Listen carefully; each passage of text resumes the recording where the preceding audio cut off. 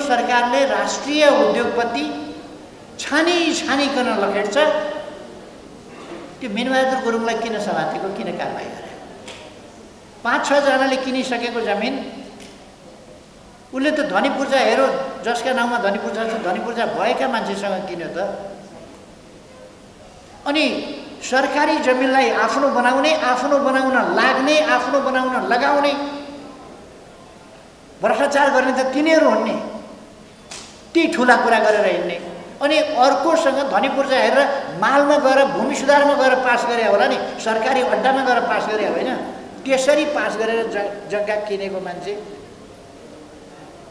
उसलाई अनि के मिनबहादुर गुरुङ भागेर हिँड्थ्यो। यो सबै छोडिदिएर यिनीहरूलाई छोडिदिएर बाँडेर खाउ तिम्रो भनेर सम्पत्ति छोडिदिएर भागेर हिँड्थ्यो। होइन। त्यो मनाङतिर गयो कि मुस्ताङतिर गयो कि लमजुङ गोर्खातिर कता गयो कि अथवा यता उखलढुङ्गा सुखलढुङ्गा कतैको? भारी बोकेर हिँड्ने खाली खुट्टा हिँड्ने त्यो गुरुङ यता भाटभटिनी के जाति चलाएर पुँजीपति हुने भन्ने आँखाले देख्न सक्यो यो राष्ट्रिय पुँजीपतिलाई खेद्ने कुरा हो। यति होल्डिङ्सलाई किन खेद्यो यति होल्डिङ्सलाई खेद्नेहरू दलाल पुँजीवादीहरू। त्यसकारण उनीहरू खेद्छ किनभने त्यो राष्ट्रिय पुँजी हो। सोलुको एउटा शेर्पा भारी बोकेर हिँड्थ्यो अरे बच्चैदेखि त्यस्तो शेर्पाले आएर यहाँ हवाई जहाज पनि उडाएको छ पर्यटन पनि चलाएको छ होटल पनि चलाएको छ के पनि गरेको छ हेलिकप्टर पनि चढाएको छ गर्न पाइन्छ? भारी बोकेर हिँड्ने शेर्पाले यो त राष्ट्रिय बाहेकहरू राष्ट्रिय पुँजी बाहेक हुनै सक्दैन। उसले विदेशमा लगेर स्विजरल्यान्डमा जम्मा गर्दैन। उसले मालदिप्समा लाँदैन श्रीलङ्कामा लाँदैन बङ्गलादेश लाँदैन भारत लाँदैन मुम्बईमा होटल छैन श्रीलङ्कामा होटल छैन। यस्तालाई पनि चलाउन दिन्छ यहाँ देशैमा केही गर्छु भन्नेलाई।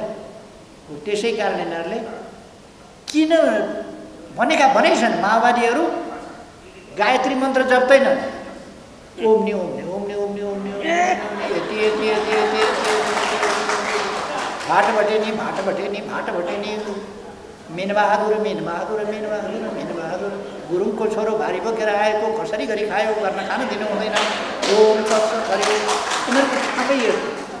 सबै राष्ट्रिय पुँजीपतिहरूलाई छानी छानी लखेटेको छ त्यसको विरुद्धमा कोही बोल्यो भने एउटा सांसद बोल्छ समातिन्छ एउटा सचिव एउटा सचिव बिचरा जहाँ सही गरेर पनि टिप्पणी उठायो भने अहिले होइन। सेक्सन अफिसर हुँदा। हाकिम हुनुहुन्न तपाईँ तिमी गर भनेर सही गर्न लगाउने। अनि उनलाई चाहिँ प्लेनको सिटबाट बाउ बिमारी भएर उपचार गर्न जाँदै गरेको मान्छेलाई प्लेनको सिटबाट तानेर तमासा देखाउने। दलाल पुँजीवादीहरूको तमासा हो तमासा। यो सबै दलाल पुँजीवादीहरू अरू पार्टीहरू खास गरी कङ्ग्रेस र माओवादी। कङ्ग्रेस सैद्धान्तिक हिसाबले नीतिगत हिसाबले नै सहकारीको पक्षमा छैन। ऊ हुँदैन। अर्कोलाई नीतिको अर्थै छैन। अर्कोलाई कुनै नीतिसँग कुनै सरकार छैन माओवादी भन्ने पार्टीलाई। त्यो नीति सिति भन्ने कुरासँग कुनै सरकार छैन। उसले फाइदा मात्रै जान्दछ। यो सहकारीको बाटो हिँडेर दिनमा क्विन्टल क्विन्टल सुन ल्याए जस्तो फाइदा लागेर गाउँका मान्छेलाई यसो सानातिना उसमा जोडेर के फाइदा छ उसलाई? उसलाई त थोकमा ढ्याक ढ्याक्ती फाइदा चाहियो यसो हेर्दा पनि टेलिक्क टल्किने खालको फाइदा चाहियो मोटो मोटो रकममा फाइदा चाहियो ऊ यो खुद्रा सुद्रा यस्ता उस्तामा अल्झिने जातै होइन त्यस कारण माओवादीको नीति बेग्लै छ ऊ यो सहकारी फकारी यस्तो उस्तो जान्दैन मतलब छैन। र कङ्ग्रेस नीतिगत रूपले नै यसमा छैन यसका पछाडि राजनीति पनि दुई प्रकारको राजनीति छ। उहिलेदेखि एउटा राष्ट्रिय राजनीति अर्को निर्देशित राजनीति। एउटा राष्ट्रिय राजनीति अर्को दलाल राजनीति। आजदेखि होइन पहिलेदेखि एउटा राष्ट्रिय पुँजी छ अर्को दलाल पुँजी छ। एउटा राष्ट्रिय नीति छ अर्को दलाल नीति छ। दलाल पुँजीवाद भनेको पुँजीमा मात्रै हुँदैन। एउटा राष्ट्रिय सांस्कृतिक नीति हुन्छ अर्को दलाल सांस्कृतिक नीति हुन्छ। एउटा राष्ट्रिय संस्कृति अर्को दलाल संस्कृति। त्यस कारण हाम्रो चौतर्फी राष्ट्रिय हाम्रो किता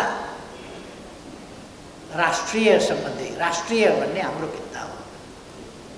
अरूको किता दलाल ब्याङ्कहरूले कि त अहिले जस्तै ठुला ठुला पुँजीपति खोजेर लगानी गर्ने? तल साँच्चै जसलाई ऋण चाहिएको छ उसका ऋण पुग्दै पुग्दैन। जो अरबपति छ उसका मात्रै ऋण पुग्छ। त्यहाँ नपुगोस् भन्ने होइन। ठुला उद्योगका लागि त्यो पनि आवश्यक छ। ठुला उद्योग ठुला व्यवसाय सञ्चालन पनि गर्नुपर्छ त्यसका लागि पनि आवश्यक छ। तर त्यहाँ मात्रै होइन। गरिब कहाँ जहाँ सिड मनी छैन। जहाँ कारोबार सुरु गर्न व्यवसाय सुरु गर्नका लागि केही छैन। हो त्यस्तो ठाउँमा लोन पुग्नु माइक्रो फाइनेन्स पुग्यो भने माइक्रो फाइनेन्स बिल्कुल इन्डिभिजुअलसँग पुग्छ। र इन्डिभिजुअलले राम्रो बजार पाएन भने त्यो माइक्रो फाइनेन्सले दुईवटा बाख्रा पाल्ने ऋण दिएर दुईवटा बाख्रा पालेर छ महिनामा ती दुईवटा बाख्रा बल्ल बिक्री हुने हुन्छ त्यो दुईवटा बोका छ महिनामा बिक्री हुँदा कति पैसाको हुन्छ? अनि त्यो पैसा उठ्दै उठ्दैन त्यसको दानामा र आफूले गरेको मिहिनेत त खेरेको त्यसको दानाको पैसा उठ्न गाह्रो हुन्छ।